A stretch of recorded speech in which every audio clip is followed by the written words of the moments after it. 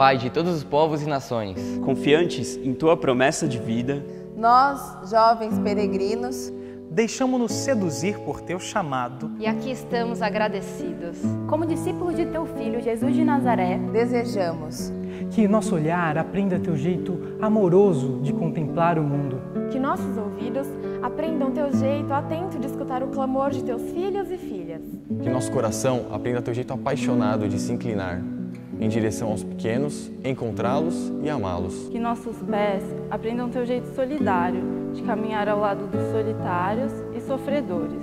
Que nossas mãos aprendam teu jeito generoso de se doar aos mais pobres e necessitados. Dá-nos teu espírito de ousadia, a fim de que sejamos profetas de uma esperança sem fronteiras. Pois queremos colaborar para que toda nação seja vista, ouvida, amada e servida em teus filhos e filhas. Amém. Amém.